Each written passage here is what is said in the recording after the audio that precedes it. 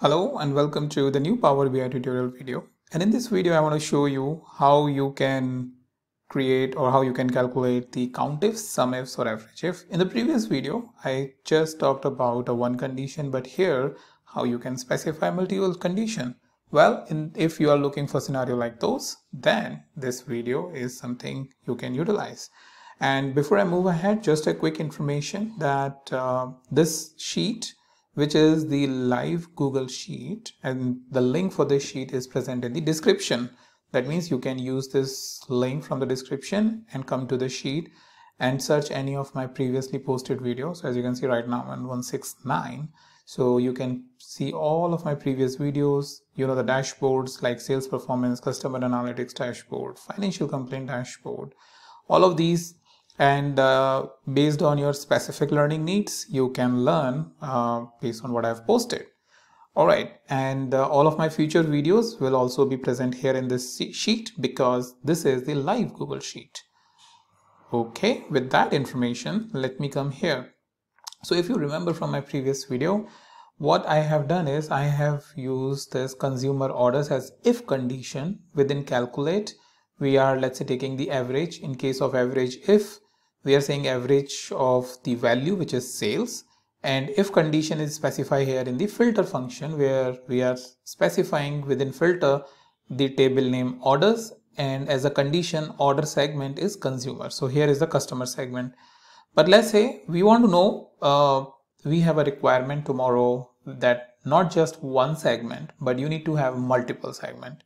Or not just along with consumer segment you need to have let's say any specific country region or there is there are multiple like um, values. For example you have region here for example over here.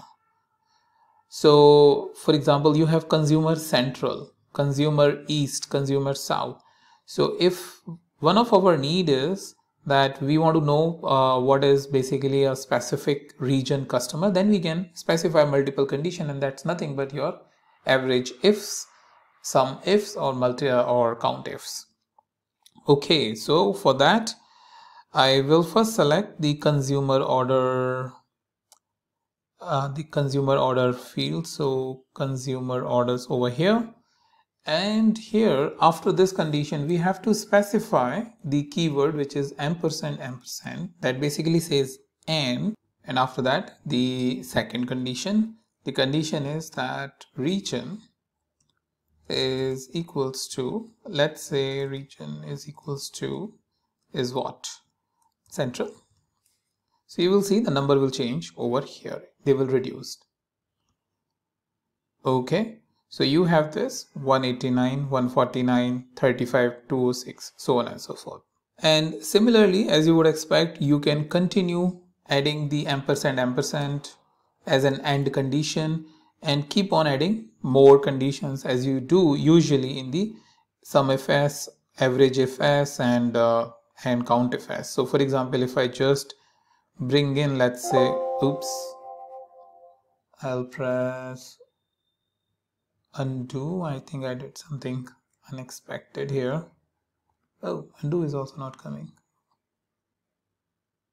Fix this. Okay I just fixed this. And over here let me take one more condition uh, in this case. For example ship mode. So you have multiple ship mode you have first class same day second class. Let's say you want to identify the first class. So in this case again I will go to the consumer where is that? Consumer orders. And I will say one more condition. And your ship mode is equals to what? First class So that way we can continue adding as much calculation as we need. But just you need to make sure, oops, I did something wrong or what? Ship date, huh, ship out.